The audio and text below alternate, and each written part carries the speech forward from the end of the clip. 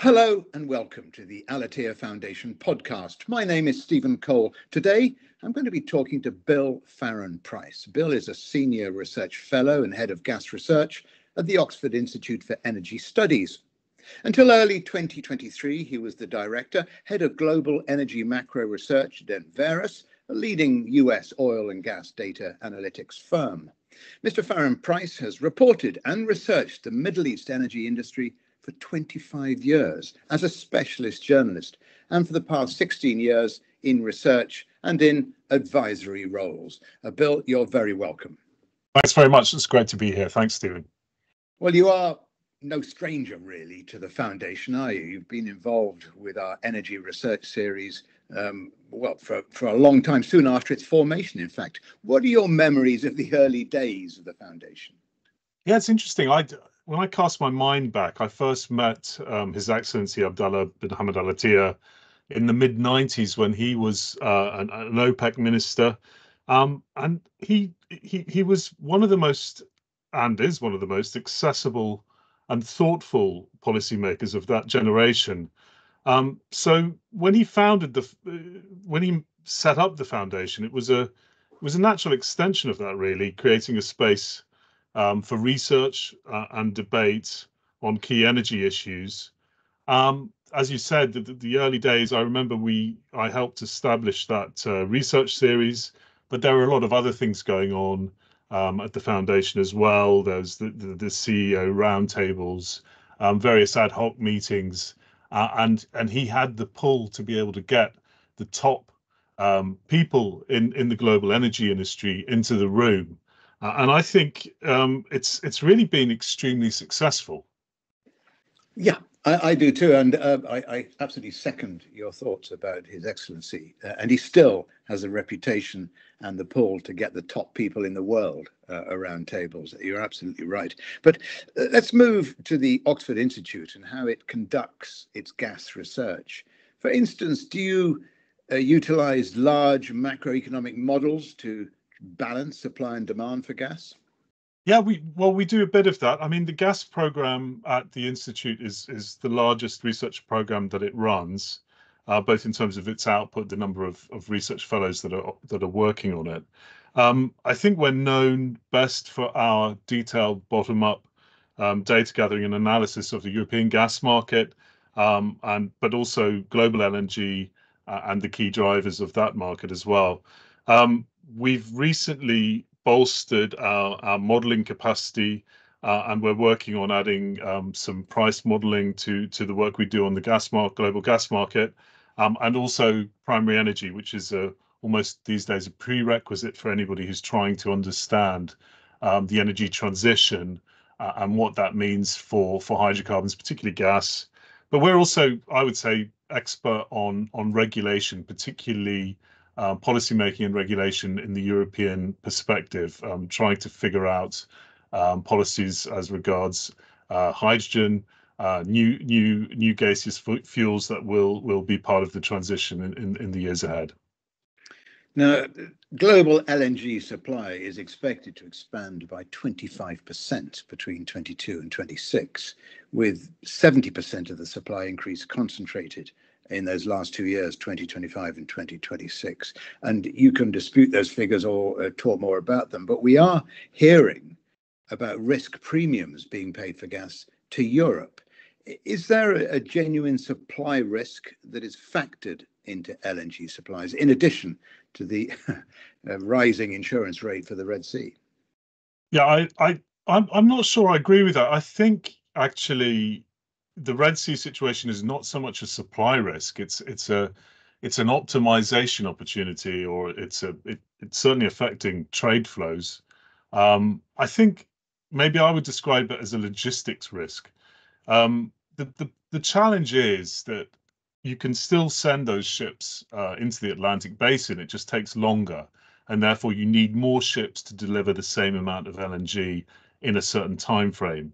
I mean, I definitely think that that's going to be a challenge, um, but I I think there is also the opportunity within the global LNG uh, trading picture to actually just optimize um, so that LNG that's actually already in the Atlantic basin, mostly coming from the US, stays there. Um, and and uh, Qatar and its uh, fantastic um, export capacity serves increasingly serves Asia. And actually, we, we have actually seen, uh, you know, Qatar as a proportion of European LNG imports is actually still um, is is relatively low, I would say. So so I don't think it's it's dramatic. I also think politically the prospects for resolving the the um the, the, the insecurity in the Red Sea are probably uh political. It, it yeah. will not be solved militarily. I don't think it, there is any way to do to achieve that. Um, the Houthis are, are resilient, and, and I think this will have to be solved on a political level at, at, at the end of the day. Yeah, I think that's exactly right. Uh, and so you're saying that there isn't a supply risk, but we just need more ships to carry the LNG. I think so. And, and and if you look at if you look at the spikes we've seen in prices, that over the last two or three years, um, the, the, the Ukraine war and so on, it, it was to do with the loss of supply. Um, and and that has not happened in this case. It's just going to there might be some delay, but it but but frankly, it's a logistics challenge, not nothing else. Okay. Well, in January, uh, President Biden threw uh, a spanner in the gasworks with a temporary pause on pending LNG export projects, such as gas terminals. That's not an export ban, but it does freeze a few uh, proposed, major proposed, uh, but unapproved projects that would benefit countries which don't have a free trade agreement with America. Um, the states has placed therefore a hold on new LNG export terminals. Why have they done that? Are, are they for green reasons? Or in other words, to slow down fossil fuel exports due to domestic climate change pressure? I, I think this is an election year, and and I think that sort of move is is purely political, designed to to placate to, to placate some of those uh, on on the left of the of the Democratic Party. Um, I I don't think it has an immediate impact on on LNG balances. To be honest, it's it's it's more of a factor that would affect projects that would come on stream after 2030. Um, I think it is significant and it is important because it doesn't just affect new projects; it, it affects um, extensions for existing um, planned projects. But I would imagine that this kind of measure would be uh, not permanent and it would probably get um, uh, unfrozen probably in 2025. So it could actually be a little bit of a red herring. I, am not sure that it's something that should be on the supply risk radar, uh, at least for this decade. Okay, a sort of green herring, uh, in other words. Green herring, yes. the EU may eventually impose uh, a cross-border export tariff on imports of gas. How will that affect the competitive position of LNG compared, say, uh, to Norwegian gas? Well, I, yeah, this is a, this is an odd one. I, I've seen these reports about Germany talking about um, some sort of tariff for for exports. I, th- I I think this is unlikely to be approved by Brussels because it would uh, it would go against the, the principles of, of the single market for, for gas in Europe. I think that the major export destination for gas in Europe is is is probably Ukraine, and that is uh, probably going to be more a question of storage in Ukraine. I I think it's unlikely that any tariffs would be raised on that. So I think again, I, I think this is probably unlikely to come to pass. Um, and and it's interesting. It, we, have seen reports of it, but it hasn't. Uh, I don't think it's a, a solid plan as yet. Okay. Well, gas prices uh, in Europe have fallen enough, as you know, in recent weeks to reignite some competition between gas and coal in the power sector. Does coal to gas and gas to coal switching take place in some national economies? Uh, yes, it could do. I mean, there's. I, I think this is. I mean, most coal-fired power is is in the process of being decommissioned in, in Europe. I mean, there's still some some coal power in Poland, um, in Greece, uh, maybe some other in other Central European countries. But I I think um, gas at, at, current prices is is is pretty uh, pretty competitive. But but most mm. important is that you know Europe has committed to to um, uh, eliminating coal um, except in in extremis, in, in, unless we have a very cold snap during winter or so on. Uh, and I think that that that that process is is is it will continue. I think it's very different in, in countries like India um, and China and and other developing economies where where uh, where coal is, is is prevalent and, and much more available. Qatar has always considered itself the lowest cost producer of LNG due to its credits taken for wet gas byproducts and favorable capital cost investments. Is that still the case in the LNG competition? Yeah, I think uh, Qatar is always going to be up there on the the low cost leaderboard um, globally, uh, globally, and because of its NGLs, because of the concentration of its upstream in, in one location in the North Field, and also of course because of the huge economies of scale that it operates at. Um, but I would say also the US has a has a, a world scale um, resource base for gas as well, uh, and well capitalized um, LNG developers. So the, real challenge in the US is is not so much to do with the, cost of production at the wellhead. It's more to do with the challenge of establishing sufficient pipeline capacity to transport gas from the point of production inland to the to the to the Gulf Coast uh, terminals. Um, so I, I, I think it's it's it is a bit dynamic, but I think Qatar uh, is always going to be going to be up there at the top. Uh, taking aside the other LNG producers and coal, where do you think the competition will come from for LNG? Will it be uh, power from solar and wind farms? Yeah, I think, I mean, we're seeing renewables growing very fast in some geographies in, in China, the the development of solar is going to hit their their long term target early this year probably. Um, and we've seen, you know, the UK has has built out its offshore wind um, uh, very very quickly indeed. It's probably uh, the the the leading offshore wind power in the world. Um, the problem with renewables, and it's not it's not a new problem. It's it's an old one. Is is intermittency, uh, yes. and and and, and of course too yes, storage, intermittency, the inability to to um, to store energy uh, is is problematic, and until that's resolved, you know, LNG um, slash gas will have a key um, role in in offering cover for that sort of intermittency in terms of dispatchable power, uh, and and I think there's no prospect of that being solved on on a on a on a world scale at the moment. So uh, I think power uh, is going to be the electrification of everything is going to require more gas for longer. Yeah. Well, at, at COP28, uh, as you know, delegates talked about what they call the energy trilemma. That's the need for energy to be affordable, sustainable, and secure. Uh, how does LNG fit into squaring that trilemma? Do you know what I I think of the trilemma? Security is what drives LNG, and it's it's it's an outsized. Uh, if, if if you imagine a stool with three legs, it's it's the biggest it's the biggest leg, um, in, in my opinion, for LNG. And the reason is that while the other two are important, sustainability, of course, is important in the longer term, uh, and price is important. But what we've discovered over the last few years, particularly in the wake of Ukraine uh, and the loss of Russian pipeline supply into Europe in, in large part, is that keeping the lights on is the most important thing. Uh, and and and it was quite clear that the global gas market was prepared to pay um, whatever price they needed to secure their supply, at least in um, in, in, in Europe.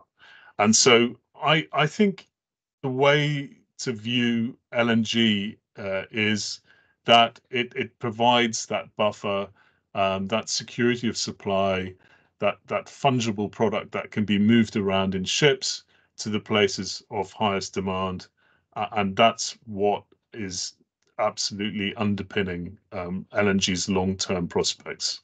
So, so talking uh, about demand and global demand for natural gas in the next 25 years, is that likely to be driven up by population growth, even though population growth is slowing, or down because of the move towards non-fossil fuels for electricity generation? I think I, I think well, demography is interesting because, of course, you know, you're starting to see um, birth rates fall in, in some major economies, and, and that's that's one factor. Certainly and, Japan and China. Yes, exactly. Um, and and I think what we'll probably see is um, increased efficiency over that period as well. But the point I, I raised earlier about the electrification of everything is important, and and, in, and until and we're very far away from from um, being able to cover power demand from from uh, low carbonized sources. So until that becomes more possible, I think the role for for gas is strong, and and and we can see that in our own um, in our own long-term forecast to 2050. Mm. Um, I so my answer, my one-word answer to your question is, uh, I think gas demand is going to go up.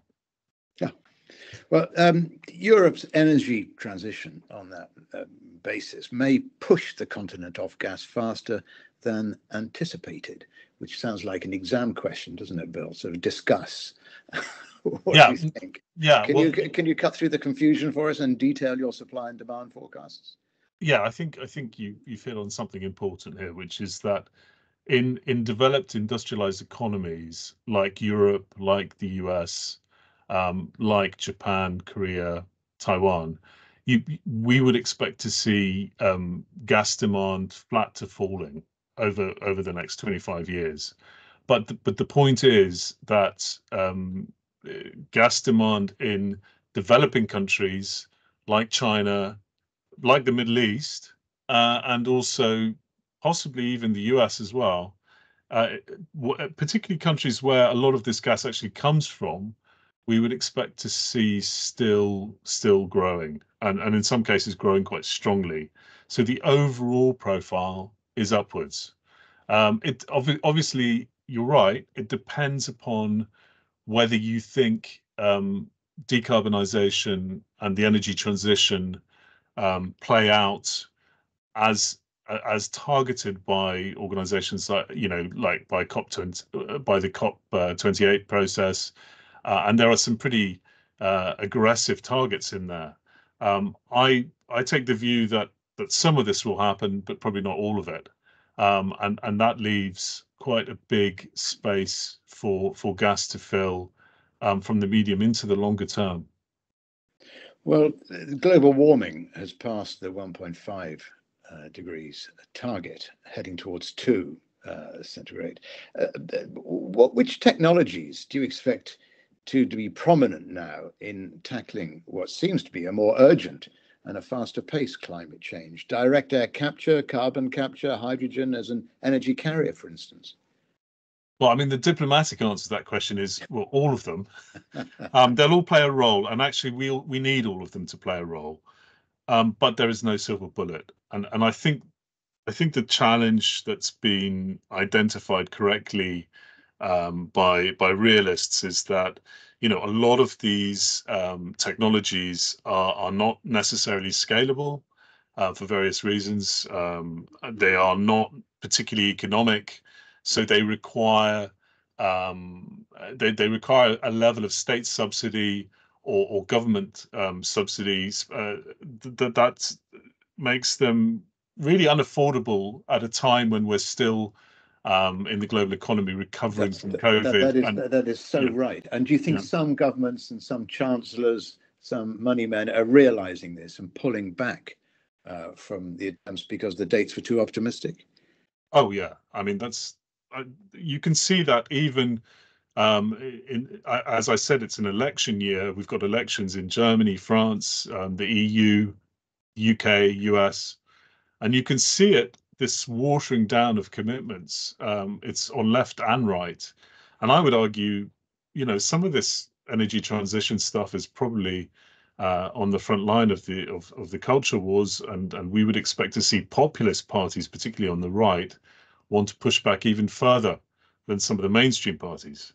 So I think whichever way you slice or dice it, the the call on hydrocarbons, particularly gas, less so oil, I would say, but particularly gas, is going to be sustained at a higher level than we would have thought even last year, and that's that's because of this this uh, desire to push back on some of the um, the, the, the, you know some of the tax and costs around the transition that are being imposed on uh, consumers. There's a there's a there's a funding problem, not just at the individual level, at the consumer or the farmer or whatever, but it's also a, a funding problem at government level because uh, countries are heavily indebted as a result of of uh, of um, the, the, uh, the, you know the follow through from COVID, but they are also facing new calls on on on spending, particularly on the military in Europe, uh, and and this is going to have to compete with um, uh, with sovereign governments' desire to push through a transition commitment, even yeah. though they say the right things, and and and I believe that they are committed to it. Um, when it comes, but they just can't afford it yeah, it's going to be difficult to afford it, and and it comes, it's it's going to, it's it's going to be a an issue that we see more and more of through this year because of the elections that we're about to have. Bill, that's a, a cracking answer. So thank you for that. Uh, on behalf of the Al-Attiyah Foundation, I'd like to thank you very much for joining us today and giving all the listeners uh, your expert views about how the LNG market will develop in the next few years. The Foundation uh, looks forward very much to continuing this conversation with you in the near future. So thank you very much. Thank you, Stephen. Um, very much enjoyed the conversation and look forward to more of the same. And thank you for listening. Stay tuned for the next Al-Attiyah podcast interview in the coming weeks and be sure to keep up to date with all of our latest publications through our website, www.abhafoundation.org and X, formerly known as Twitter. From me, Stephen Cole. Bye bye.